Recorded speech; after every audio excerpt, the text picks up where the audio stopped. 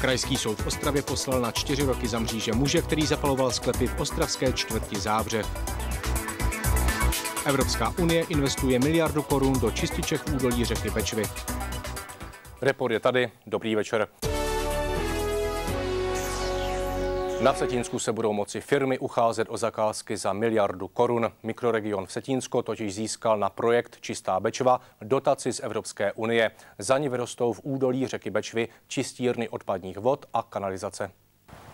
Dnes vytékají do řeky Bečvy všechny odpady z obcí, které sídlí v její blízkosti. Proto se Združení Mikroregion v Setínsko rozhodlo navrhnout projekt, který by situaci řešil. Při žádosti o dotaci u Evropské unie byli úspěšní. Uh, Komise brala v potaz hlavní faktor, kterým je ekologický přínos projektu. Ovšem realizace se musí nejprve sladit se zákony v České republice.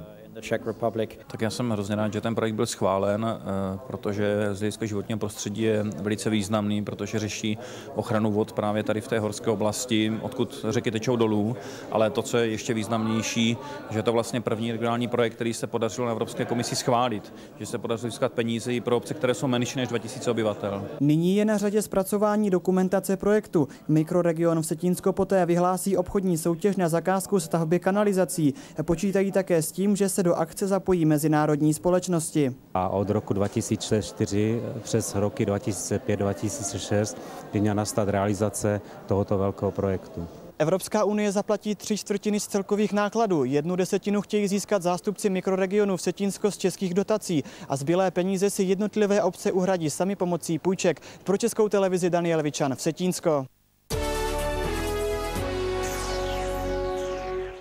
Památkáři a odborníci dnes kontrolovali kvalitu prací při rekonstrukci historické dřevěné budovy Maměnka na Pustevnách. Zástupci památkového úřadu a muzea se zajímali především o hotovou výzdobu interiérů.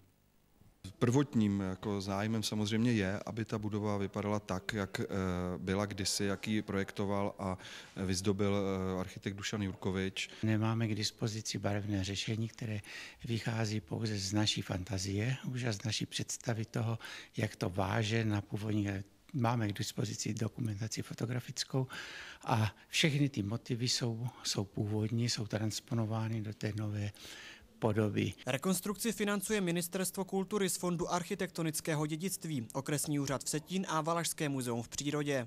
Rekonstrukce toho objektu je docela náročná. Eh, předpokládaný odhad financí je zhruba 25 milionů korun a větší polovičku peněz už jsme proinvestovali. Libušín už byl otevřen eh, v minulosti před několika lety a teď se čeká na maměnku, která bude sloužit jako ubytovací zařízení.